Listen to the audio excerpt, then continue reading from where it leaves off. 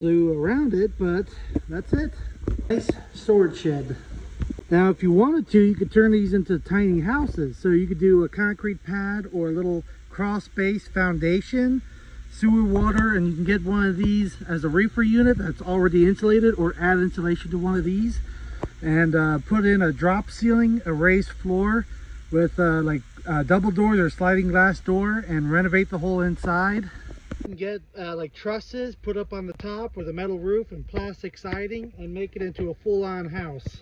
Pretty much my plans later for this, but I gotta fill it all in. As you can see how much it took just to fill this in to get level. One is just for storage, but just future plans.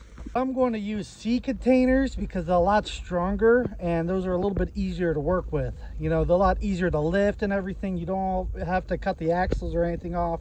You know, those are going to be better for my purposes. Yeah, that's uh, just how much fill I had to bring down just to get that pad leveled off.